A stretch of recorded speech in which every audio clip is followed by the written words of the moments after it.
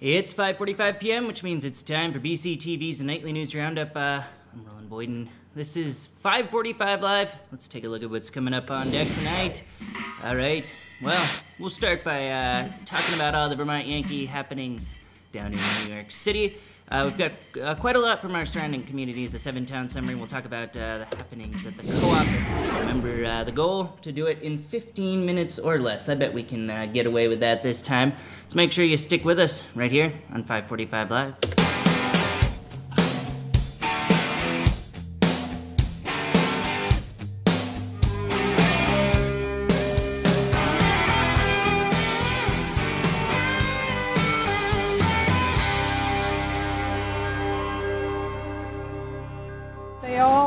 Certain ways that they hold their hand. He was very confident. He had to read a lot of papers. And the judge, he's he does a lot of note taking, so I tried to get a picture of him looking up, but he's looking down a lot of the time. Welcome back to this uh, January 22nd, 2012 edition of 545 Live. I'm Roland Boyden. I'll be taking you through the next 15 minutes into the regularly scheduled 6 o'clock. That's footage of courtroom sketch artist and longtime BCTV volunteer Deborah Lazar of Putney displaying her courtroom sketches from the Entergy uh, State of Vermont showdown in Brattleboro last year. Lazar again jotted the features of key players in the legal struggle as the case found its way to the Second Circuit last week. That takes us to New York City, where uh, the state's Second Circuit appeal of federal Judge uh, J. Garvan Murtha's ruling in favor of Vermont Yankee owners Entergy Nuclear, uh, a decision that overruled the state's Act 160 legislation set to close the plant at the end of its original 40 year license, despite a 20 year extension from the Nuclear Regulatory Commission. Now, the focus in the courtroom uh, uh, in New York last week was the financial impact of the plant's continued operation uh, and its impact on the state of Vermont, something uh, state lawyer David Frederick argued was the legislature's primary motivation for forcing the plant's closure, a purview that does not violate federal preemption. Now, uh, citing once more the state representative's numerous documented concerns about the safety of the plant, Entergy attorney Kathleen Sullivan stuck to uh, Entergy's original strategy. But after the expedited hearing, Vermont Attorney General Bill Sorrell emerged from the courthouse optimistic, uh, say uh, glowing even, over the result. Northampton Community TV caught up with him on the courthouse steps in the big city uh, to explain his decision to involve the nationally known expertise of David Frederick over the state's uh, own legal team. We've uh, got the clip. They've been so kind, uh, kind enough to share with us. Let's take a look. We've got some hugely smart and accomplished lawyers that we've had working close to 24-7 on this case since since it was filed. Uh, but here we are at the Second Circuit. It's a, it's a different league, and we wanted to fight fire with fire, and we went out and hired a guy who's nationally known and respected as among the best appellate uh, litigants in the country. And I'm really proud of what David did for Vermont today. Well, in true uh, New York fashion, a lot of sirens going off there. A little hard to hear, but uh, he talked about uh, just why it was so important to involve the best of the best uh, in the state uh, as they move forward, trying to reclaim their control over the state's lone nuclear reactor. Now, uh, despite the short length of the actual hearings, it could take up to six months to hear back on the Second Circuit ruling, and some expect that this could go uh, higher up in the courts, regardless of the result. Um, let's break it down for a moment, uh, looking back at all the Vermont Yankee happenings that we've documented here on 545 Live in the past year, get you caught up with a, a blazing fast, jam packed two minute special uh, on all the VYVVT uh, events. Let's take a look. There's been a lot of Vermont Yankee in the media lately. At Vermont Yankees headquarters off Putney Road, Brattleboro police joined forces to facilitate the arrest of 130 individuals from over a dozen affinity groups. Your conduct is in violation of Title 13, unlawful trespass. Advocacy groups have turned their efforts to making public the discharge of hot water released into the Connecticut River by the plant's extensive cooling system.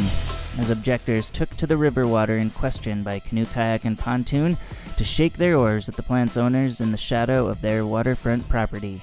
Now, as nerve wracked legislators ponder the implications of dry cask storage, You think the plant shuts down, but then you've still got the waste to deal with, and it's not good stuff. Task forces brace for the economic blowback from the plant's eventual closure, and politicians examine the sincerity of the plant's out of state owners. Louisiana is good at convincing Vermonters of things that aren't true. The fate of Vermont Yankee is still up in the air as Entergy awaits a decision from Vermont's Public Service Board over the issuance of a Certificate of Public Good, a requisite for continued operation upheld by federal Judge J. Garvan Murtha, despite his earlier verdict which overruled state legislation that would have closed the plant. It's an important case for us to appeal, and long fight, okay. We'll end it there for now, though one could hypothesize that Vermont's lone nuclear reactor and its adversaries will return to the limelight again. Just a look at uh, some of 2012's Vermont Yankee happenings. Of course, we jam pack it in there, but expect the headlines to continue all through uh, this next year. All right, uh, we're going to continue with our stories here, and uh, for that, we'll turn to Jamaica and uh, perhaps turn to my close up again as well. Why not really get uh, these HD cameras to put my complexion to shame here? All right. Start, we'll start in Jamaica, where a reformer article detailing local projects denied funds by FEMA was retracted in favor of a less inflammatory headline suggesting simply that FEMA now believes many of the town rebuilding projects following Tropical Storm Irene were never eligible for their financial support to begin with. At their last meeting before the holiday, the Jamaica Select Board entertained a presentation from town uh, GCs for some of the projects to explain the gap between the town's filings with the state and the state's filings with FEMA. We've got that clip here. Let's uh, cue it up. So far, everything that we've said to the state that they've gone on has been supported by the state, said yes, it definitely needs something to be looked at by FEMA. You can uh, catch that full broadcast uh, on BCTV's video on demand at brattleboro.tv.org, where all local meetings from BCTV's seven surrounding communities uh, go up uh, in full length. Though the benefit of uh, watch, watching online is you can queue it up at your leisure and maybe skip ahead in case the full three hours is uh, not what you're looking for. Um, now, of course, uh, we talk a lot about those seven surrounding communities that BCTV covers, but we also cover meetings right here in Brattleboro, including the Brattleboro Select Board, where our next series of headlines take us. And we'll uh, prep it this way by saying, in a world of vicious political races backed by um, sometimes incomprehensible sums of money, it may come as a surprise to folks in this community that the coming Select Board race, which fe- features three seats without uh, an incumbent, are short candidates to fill the position. Now, uh, speaking of the Brattleboro Select Board, uh, we're going to talk building a better Brattleboro in a moment. But first, uh, for those interested in joining the Select Board race and, and doing a service to democracy here on the local level, um, there's still plenty of time to get involved and uh, hopefully land us some candidates. We spoke to Town Clerk Annette Cappy about the importance of uh, this position. That's really all we're looking for are candidates who who care about where they live, where they make their home, and actually have an opportunity to change what happens in your life. Town Clerk Annette Cappy talking about uh, getting involved running for the ballot. All right, uh, speaking of the Select Board, at last night's or at last week's regularly scheduled meeting, building a better Brattleboro got an earful.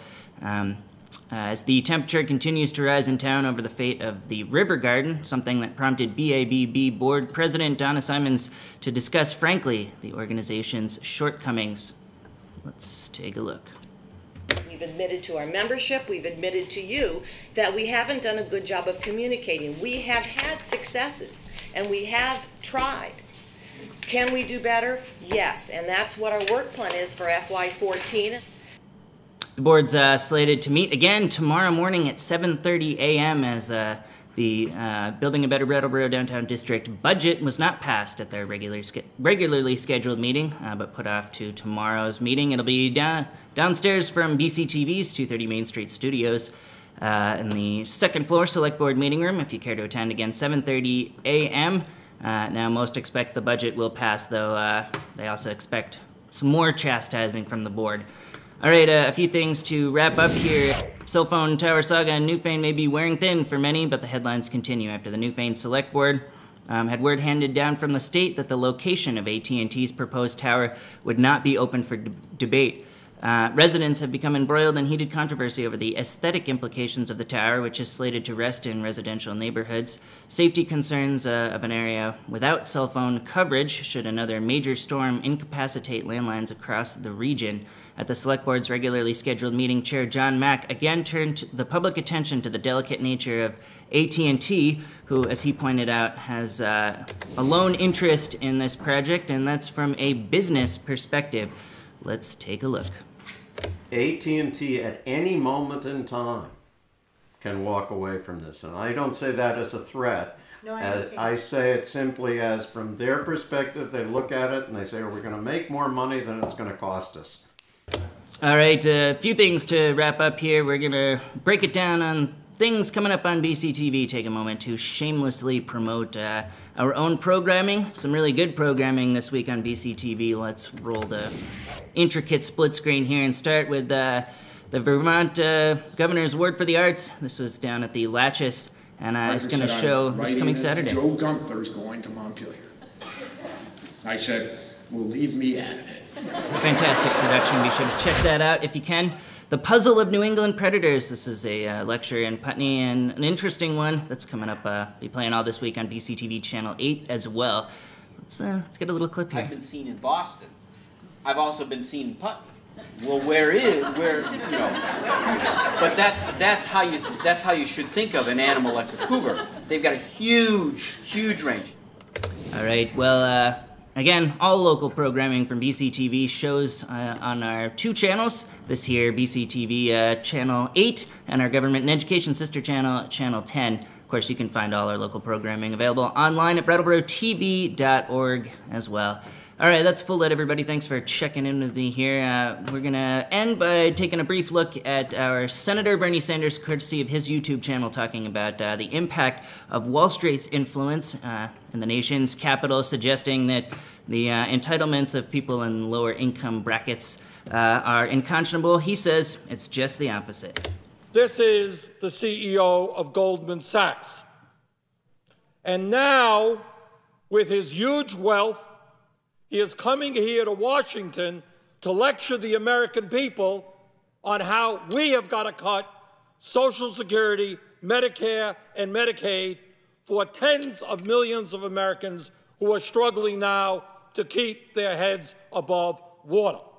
Stay abreast of uh, all Senator Sanders' latest information. Uh, it's Senator Sanders, all one word, is his YouTube channel where we get all our video as well. All right, thanks for checking in with me here. We'll be back Friday with another live broadcast right here on BCTV Channel 8 uh, at 5:45 p.m. In the meantime, I'm Roland Boyden saying good night, everybody. Lloyd Blankfein is the CEO of Goldman Sachs. In 2006 and 2007, he was the highest priced, highest paid executive on Wall Street, making over $125 million in total compensation. I find it literally beyond comprehension